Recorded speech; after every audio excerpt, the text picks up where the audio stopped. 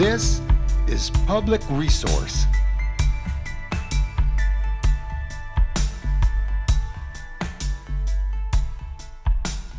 Hello, I'm Carl Malamud.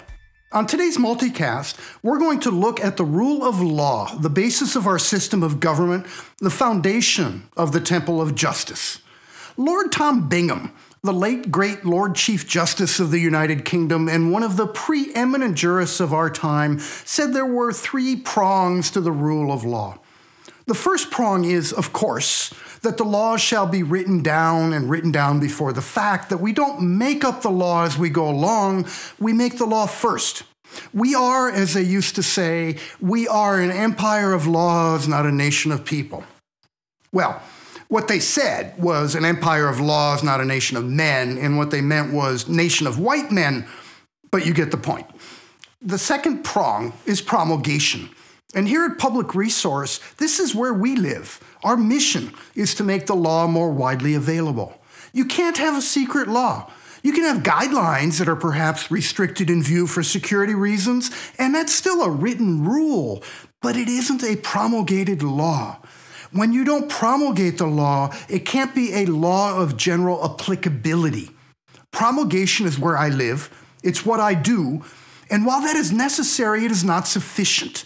It is general applicability that is the third prong. Are the laws fair?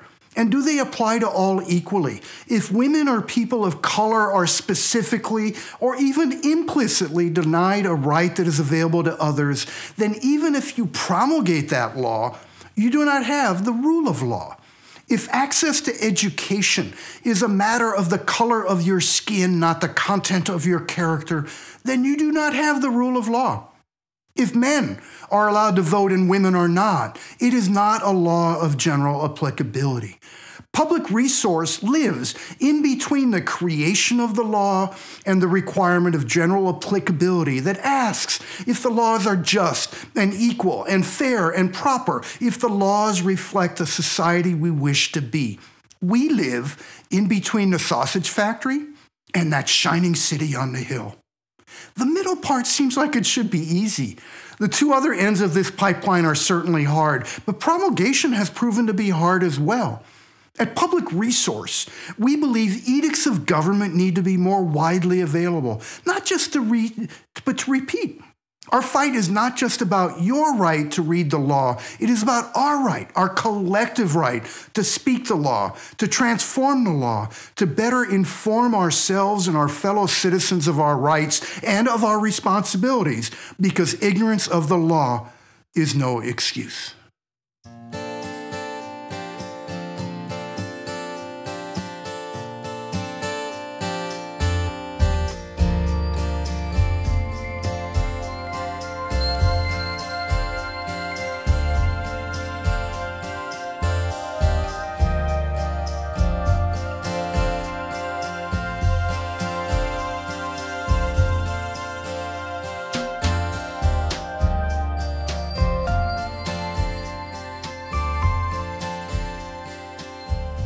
The right to know the law so as not to be ignorant, as ignorance of the law is no excuse. The right to speak the law so as to inform our fellow citizens. The right to know and speak the law is the underpinning of government in ancient and modern times. The right to know and speak the law is the foundation of the doctrine of the rule of law. When we fail to live up to the rule of law, we have failed as a democratic society. Despots may make excuses about extraordinary times or states of emergency, but those reasons are given sheepishly and accepted grudgingly, as we all know that a government that fails to live by the rule of law is one that will face eventually the springtime of revolt. As John F. Kennedy said, those who make peaceful revolution impossible will make violent revolution inevitable. Those revolutions have, in fact, been inevitable, and they go far back in time. In the early days of the Roman Republic, the commoners rose against their aristocratic masters and demanded that the laws by which they would be judged should be made known. When the aristocrats resisted, preferring to impose the law arbitrarily, the people quit the city of Rome, leaving the city defenseless and without workers to keep it running. The Great Secession led in 450 BC to the promulgation of the 12 tables of law, which were inscribed on bronze tablets and placed in the agoras for all to read. All citizens were expected to read and know the law. Indeed, when the Gauls burnt a city in 390 BC and the tablets were destroyed, all the school children were able to recite them from memory and they were easily reconstructed. That the law shall be written down and promulgated for all to know was a universal value. In Greece, the laws of Solon were inscribed on wooden cylinders and placed in the markets. Aristotle, stated in politics that the rule of law is preferable to that of any individual, he who bids the law rule may be deemed to bid God and reason alone rule. But he who bids man rule adds an element of the beast, for desire is a wild beast, and passion perverts the minds of rulers. Even when they are the best of men, the law is reason unaffected by desire. In India, Ashoka the Great ruled from 269 BC to 231 BC and inscribed the Code of the Dhamma on 50 foot pillars of stone and posted those edicts throughout the land, declaring in Edict number four that there should be uniformity in law and uniformity in sentencing. Ashoka appointed Dhamma officers who went out into the provinces, reading the edicts aloud to the people and helping them to understand his laws. That the law should be known to all was fundamental, but equally important was that the law should not be for sale. When the barons of England confronted King John in 1215 on the meadow of Runnymede, one of their chief complaints was that access to the courts had become a matter of access to money and that judgments were for sale to those who chose to pay for them. This led to the most long lasting provision of Magna Carta, one still in force in the United Kingdom and many other common law jurisdictions, including in the United States. Article 40 famously says, To no one will we sell. To no one will we deny or delay access to right or justice. Likewise, in Japan, the 7th century Prince Shotoku recognized that access to the law and justice should not be a matter of access to money. In the 17 article Constitution, which is also still in effect, he instructed all ministers and officials of state to observe the principles he set out in Article 5. He wrote, of complaints brought by the people, there are a thousand in one day. If in one day there are so many, how many will there be in a series of years? If the man who is to decide suits at law makes gain his ordinary motive and hears causes with a view to receiving bribes, then will the suits of the rich man be like a stone flung into water, while the complaints of the poor will resemble water cast upon a stone? Under these circumstances, the poor man will not know where to take their complaints. That all people should know their duties was expressed in China in the first printed book, the Diamond Sutra, which was dedicated to universal free distribution. In the Chinese Buddhist tradition, one gains merit by copying or printing. The writing of the laws began in China in 536 BC when Jing Shu inscribed the code of punishments on a bronze tripod for all to see. Then, 20 years later, a neighboring state inscribed the laws on an iron tripod. Then, private citizens copied them onto bamboo. For the next millennium, the Chinese government balanced the Confucian precepts of rule by man with the codified principles of rule by law as new governments were formed to throw off colonial and dynastic yokes, equality under the law and government by rule of law became guiding principles. The U.S. Constitution enshrined equality and due process into the fabric of the newly United States. John Adams, explained in his dissertation on the canon and feudal law that the key to making this experiment in democracy work would be the participation of an informed citizenry. He said, Let us tenderly and kindly cherish, therefore, the means of knowledge. Let us dare to read, think, speak, and write. Let every order and degree among the people rouse their attention and animate their resolution. Let them all become attentive to the grounds and principles of government, ecclesiastical and civil. And informed citizenry requires the freedom to read and write the law. When the issue came before the U.S. Supreme Court, it ruled unanimously in Wheaton v. Peters in 1834 that the law belonged to the people, not to the government, and certainly not to private citizens, stating no reporter has or can have any copyright in the written opinions delivered by this court. The principle that the law belongs to the people was repeatedly affirmed. In Banks v. Manchester in 1888, the Supreme Court rejected copyright claims over state court opinions. In Veeck versus Southern Building Code Congress in 2002, the Fifth Circuit of the Court of Appeals rejected copyright claims over model building codes that were incorporated into law into Texas, stating public ownership of the law means precisely that the law is in the public domain for whatever use the citizens choose to make of it.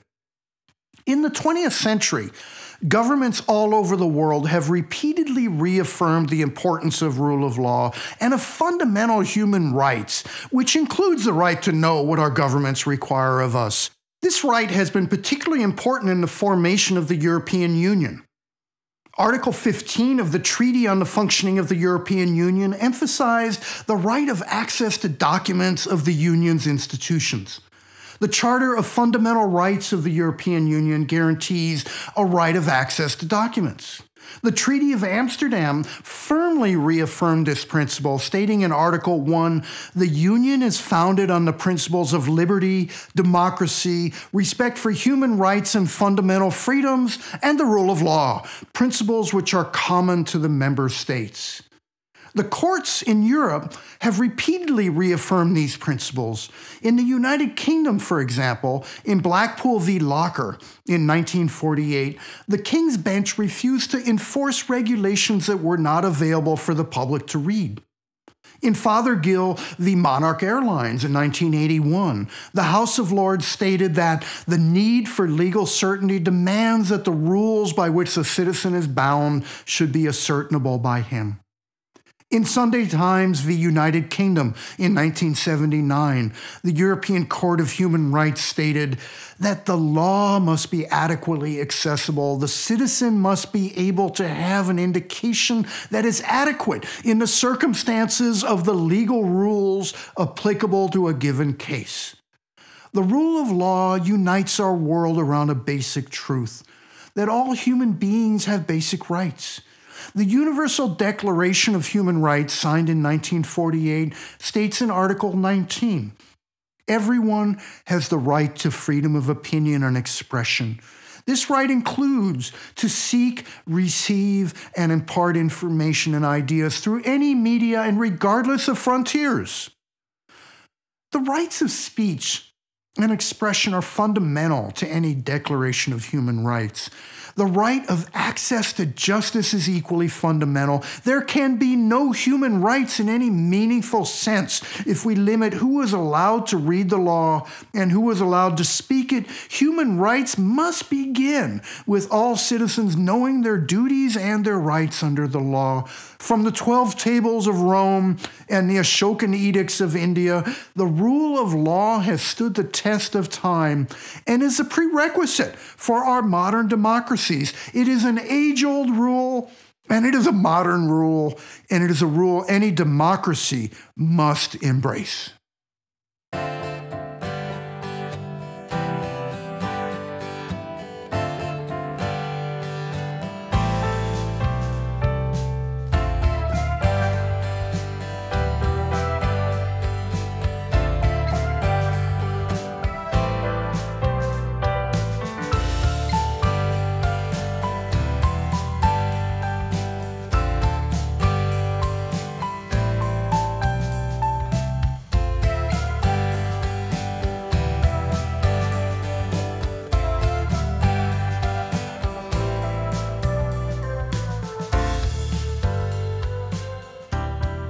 Only if the law is truly free and available can we expect people and institutions to obey the law, to know their rights under the law, and to evaluate and participate in the work of improving the law.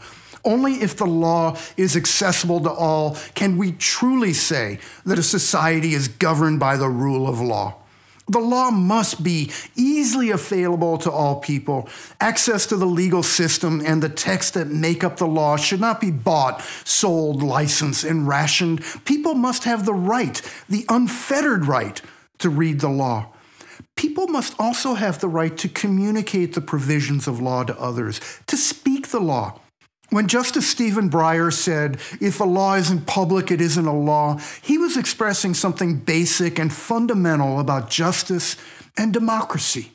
The law is the raw material of our democracy. The law is the operating system of our society. Code is law, and law is code. Don't let anybody deny you the right to read and know the law. Don't let anybody tell you that justice is for sale. Read the law and make it better. You own your government. The rule of law is the rule of the people, by the people, we the people. Thanks for listening. This is Carl Malamud for Public Resource. Our work at Public Resource is made possible by a generous grant from Arcadia. Arcadia, a charitable fund of Lisbet Rausing and Peter Baldwin. Additional support provided by Alexander McGillivray, the El Baz Family Foundation, Cyrus Capital Partners, the Kahle Austin Foundation, Stuart Butterfield, Justia, and from contributions from citizens like you. Thank you for your support. Our work at Public Resource would not be possible without pro bono legal support from some of the best lawyers in the world. Many thanks to the Electronic Frontier Foundation, the leading nonprofit defending digital privacy, free speech, and innovation for 30 years. EFF.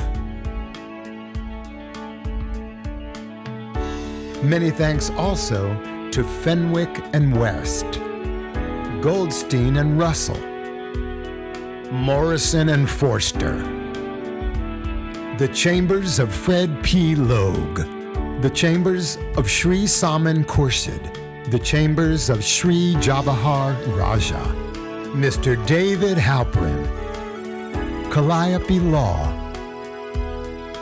Durie Tangri, Davis Wright Tremaine. We thank these fine lawyers for their dedication to the rule of law.